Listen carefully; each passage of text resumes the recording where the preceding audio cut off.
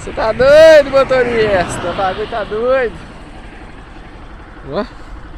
acelerar, senão vou se molhar. A tempestade tá grande. É nóis, pimenta.